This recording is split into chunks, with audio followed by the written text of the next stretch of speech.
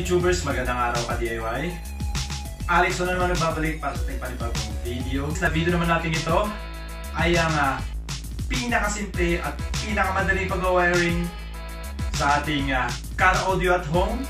So nakikita nyo sa aking harapan ngayon ang uh, ating pinaka-basic na kailangan.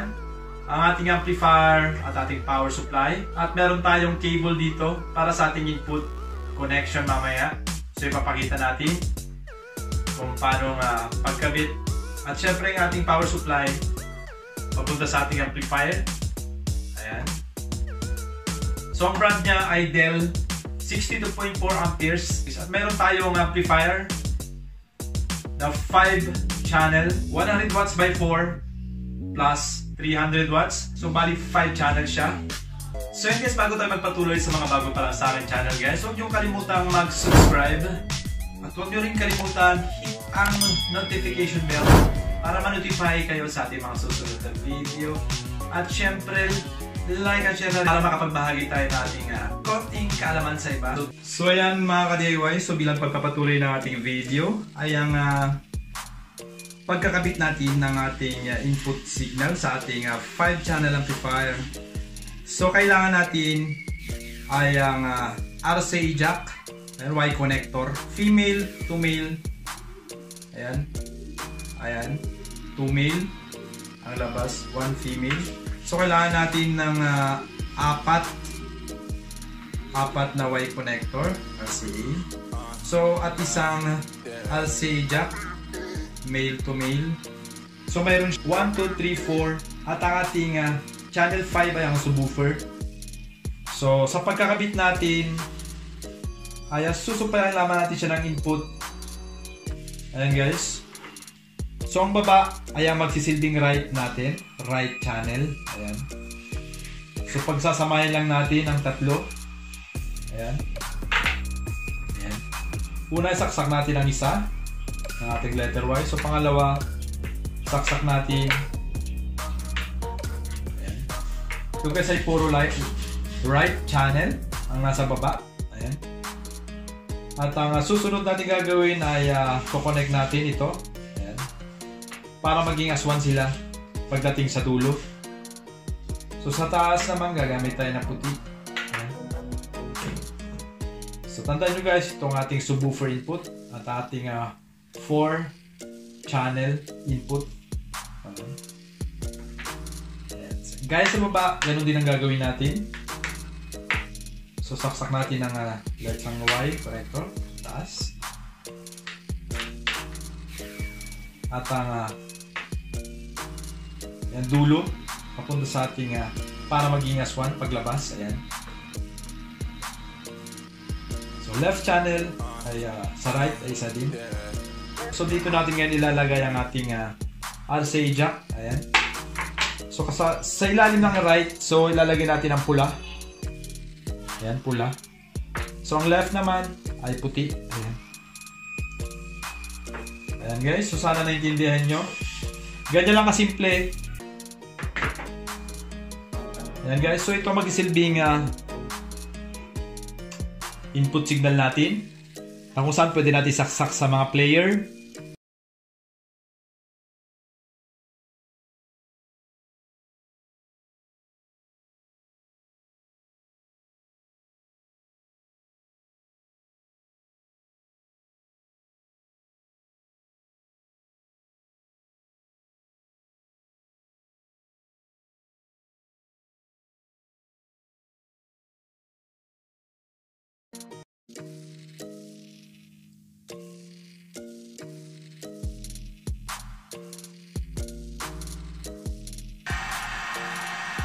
Okay guys, sa ating uh, paglalagay, kailangan natin of screws. Ayan.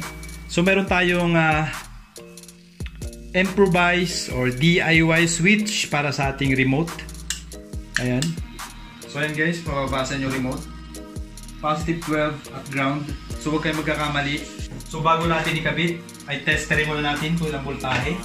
So ang kadahilanan natin pagte-tester ay para malaman natin kung good ang ating uh, PSU bago natin ikabit sa ating amplifier. Ayan.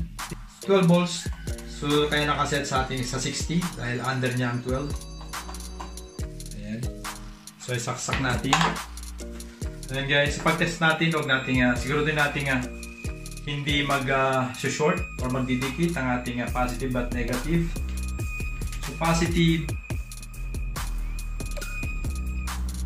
to negative. So may voltage siyang 12.41. Yan. Unahin natin ang ground.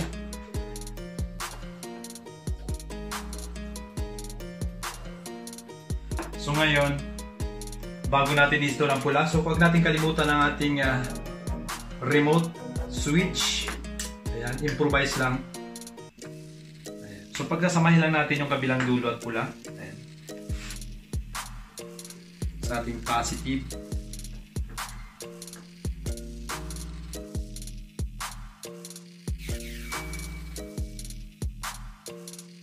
So ayan, naisama natin ang kabilang dulo sa positive. Ayan. Usually, ang remote ay nakakonect sa gitna.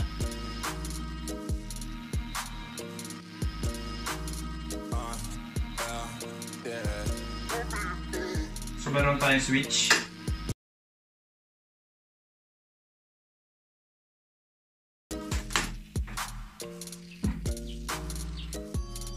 So inuna natin guys itong ating power supply. Ayan. Para ma-estimate na natin ang space na ating gagamitin. Ayan, bago natin nakabit. Siguraduhin nating uh, naka-off ang ating power supply unit. Ayan, bago tayo magkamit ng ating speakers or speaker wire. So yan guys, kukonect natin siya dito ngayon.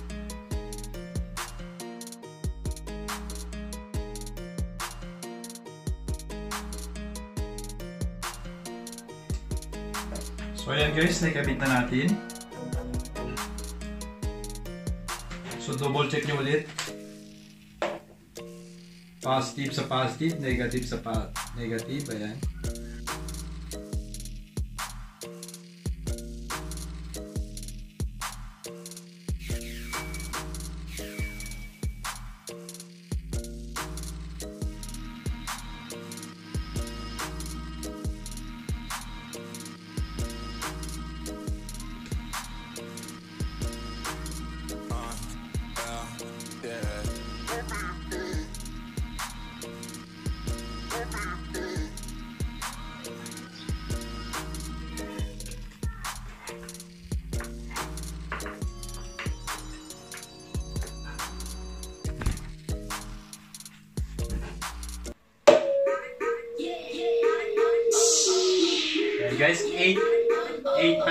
Pa lang ang level ng volume sa laptop natin.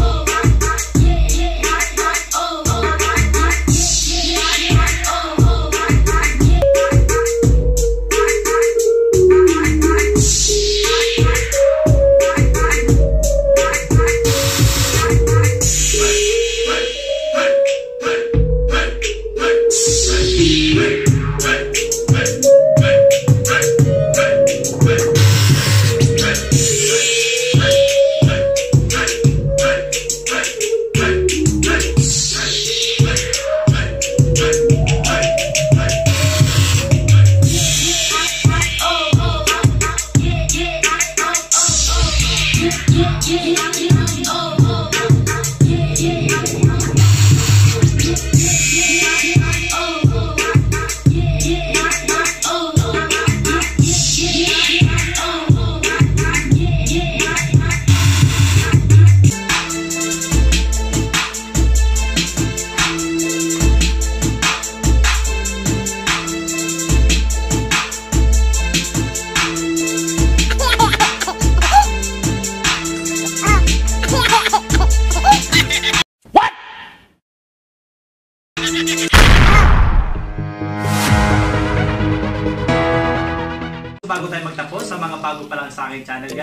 Huwag niyo kalimutan mag-subscribe.